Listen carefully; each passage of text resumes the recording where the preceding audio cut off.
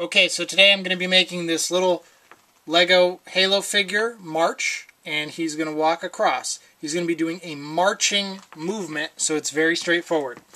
We're going to put him at, about face on one end and take a picture. So he's just straight up, you know? Okay, take his right leg and move it just a little bit so that his leg is in between the next two studs.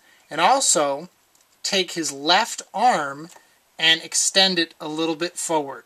And you can even take the left, the right arm and move it back a little bit.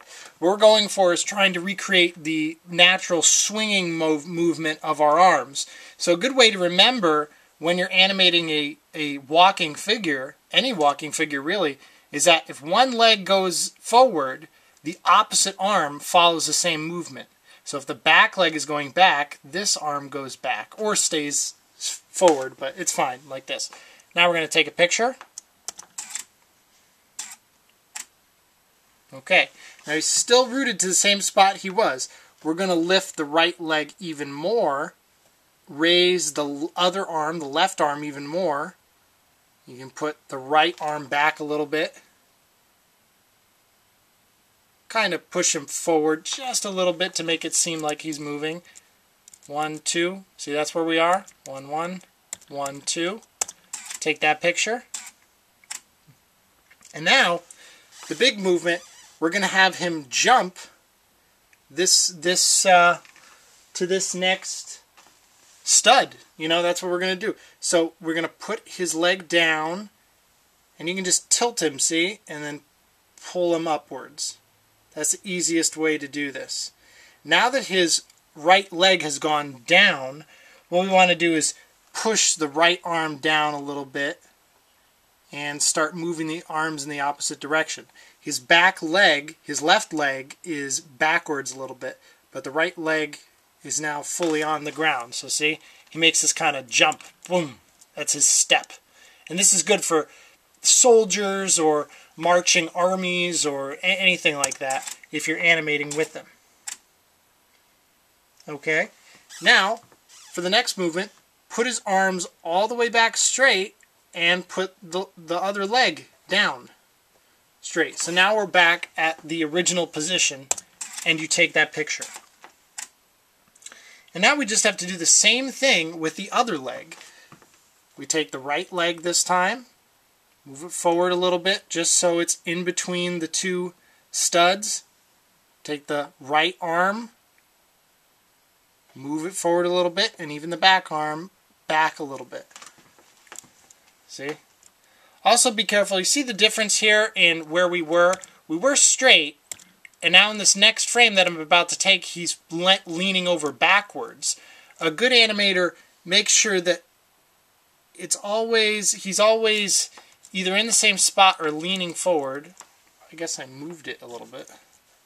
There's another tip. Always have your model uh, taped down or put, put, uh, somehow nailed down so that it doesn't look like it's moving. This is a very bad example. It's a good example of what not to do. So make sure your set or your model's taped down. So now we'll take that picture. We're going to raise the left foot even more. We're going to move the hands forward a little more. Moving this one forward a little bit. So it's a more exaggerated posture, you see? This is at the very ends of where he can move. One, two, one, two. See? So take that picture. And now just put him back in his Put the left leg down. Here's how you do this. This is the easiest way. Just tilt him so that the left leg uh, attaches to the stud and then pull him upwards. It'll keep the legs in the same spot because the other leg can't move in between the studs. And then just move the the hands down a little bit. See that step? Boom. One, two, one, two, march. And they take the picture Alright, now just move the, the leg forward a little bit. Put the arms down and take the next picture. And now we're officially back to the very first frame that we took. So if I play this back, it's very fast, but you can see that he's he's walking. And I know it's flickering a little bit here, but he's walking forward in a marching-like position. And that's really all it takes to make this marching um, movement. You could slow it down. You see? So he's really just going one, two, one, two, one, two, three, one, two, three. And it looks very, very kind of funny, but it looks uh, pretty convincing, you know? And if you continue with a whole walk cycle like that, you could have a very convincing set of soldiers. If you animated a bunch of these guys, it would be very interesting.